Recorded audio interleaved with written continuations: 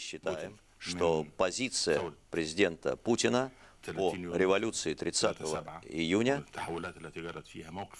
– это положительная позиция, и эта позиция лучше любой другой позиции западных стран.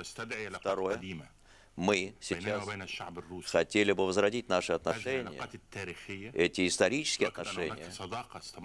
У нас были отношения дружбы, они существовали 70 лет, и мы не можем вот так взять и бросить эту дружбу, отказаться. И мы не можем ни э, быть безучастными к тем, кто хотел бы навязать нам свою позицию. Мы знаем, куда мы идем, и мы знаем, что преследует наша революция.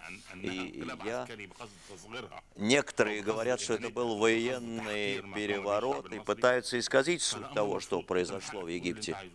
Ну, пожалуйста, говорите все, что хотите, но дело-то же не в этом. Мы хотим... Мы видели и до этого, как использовалась сила под предлогом демократии. В Лондоне это было э, против тех, кто приступал закон. На юге Африки это было. И я видел, как Ельцин, ваш президент, э, приказал отдать огонь по Белому дому в защиту демократии. А те, кто был в здании парламента, они же были членами этого парламента. Но все говорили, в том числе Соединенные Штаты, они высоко оценивали, и Западная Европа, много говорили, что это выражение воли российского народа. Так почему мы а, преуменьшаем или искажаем ситуацию и защищаем одних, но нападаем на других? Итак, э, применение силы может э, подвергнуться осуждением только в том случае, если это применение было незаконным. А если бы э, сила применяется для защиты кано, э, закона, это э, законное применение силы.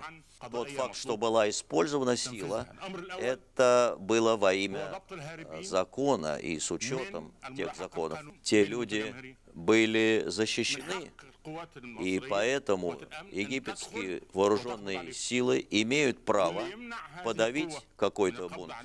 Но те, кто говорил, что это не так, а, они ошибались. И поэтому э, в любой точке зрения, э, в любой точке земного шара можно сказать, что такое применение силы оправдано.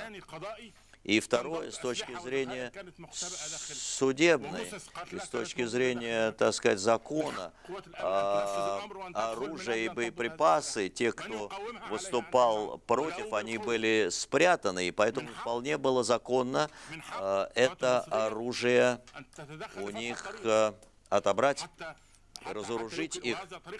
И это было очень важно, особенно когда речь шла о конкретной ситуации, когда вооруженные силы должны были идти по определенной дороге, географическом смысле этого слова, и тогда, естественно, они имели право на применение силы. Поэтому никто не может э, называть самооборону или защиту нашей революции.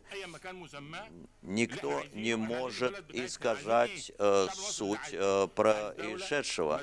Если вы хотите действительно гражданское, современное государство, нужно спросить, с кем вы? Вы сейчас с нами? Вот эти страны или за народ? народы, те или другие, с нами или нет? Вообще российский народ против э, того, чтобы было создано религиозное государство, против терроризма, поэтому я поддерживаю российское, российский народ и российское руководство в этой позиции. Как можно называть то, что произошло переворотом, когда миллионы вышли на улицы. Наличие такого огромного количества народа, который вышел на улицы, э, конечно, мы хотим демократии для всех. Мы не хотим религиозного государства. Мы не хотим раздела нашей территории на какие-то эмираты. Мы хотим остаться единым цельным государством.